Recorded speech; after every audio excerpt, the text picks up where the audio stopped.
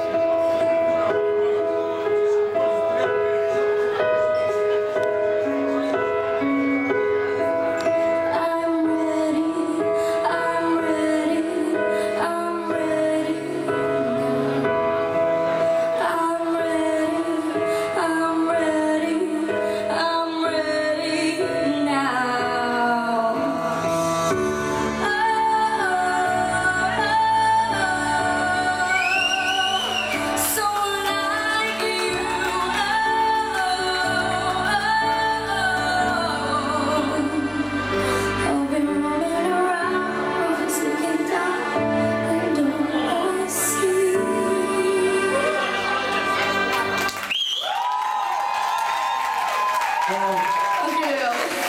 하나, 넷.